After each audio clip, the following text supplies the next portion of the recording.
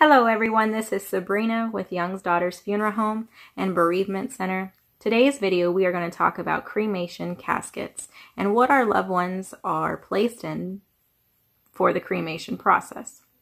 So the four types are going to be what is called either a cardboard box or a shroud. The next will be a ceremonial casket, a cloth covered casket, and a wooden casket.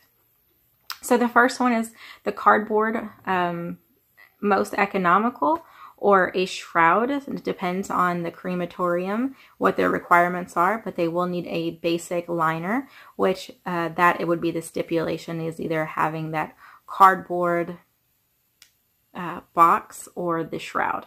The second is if you are having a visitation with embalming and you're wanting a ceremonial casket, the outside shell is typically rented from the funeral home and then the insert or the liner on the inside is what our loved ones are placed in.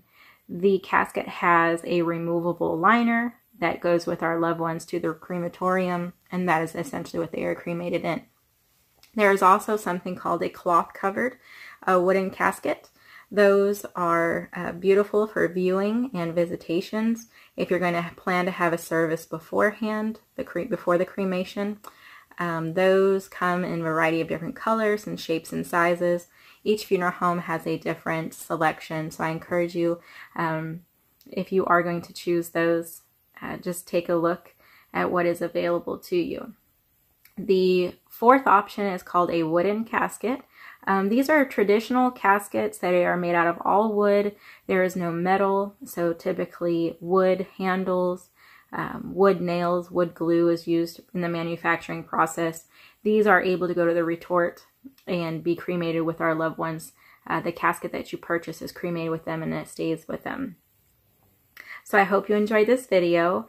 Um, and again, it is up to your choice what your loved one is cremated in. And we thank you so much for watching our video.